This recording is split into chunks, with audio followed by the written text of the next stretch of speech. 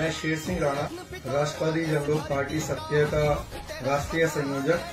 सभी माताओं को, बहनों को, बुज़ुर्गों को, भाइयों को हाथ जोड़ के बहुत बहुत प्रणाम करता हूँ। जैसा कि हम सभी को मालूम है कि जो आने वाली 19 मई है, उस दिन हमारे महान सम्राट पृथ्वीराज चौहान जी की जयंती है, हिंदी तिथि के हिसाब से। तो मेरा सभी से निवेदन है कि हम 19 मई को भी अपने महान पूर्वज को दीप प्रज्वलित करके उनको याद करें, उनकी आत्मा को शांति मिले, इस बात के लिए प्रार्थना करें।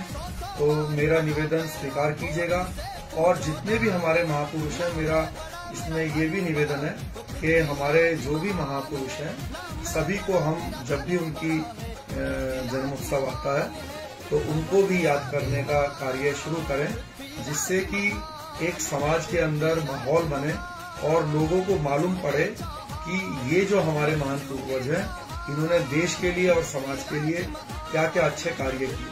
बहुत बहुत धन्यवाद बहुत बहुत तेरह साल की उम्र में शेर का जबाड़ा पाड़ा था। वो पृथ्वीराज चौहान घना ठाडा था, घना ठाडा था। जय हो पृथ्वीराज चौहान।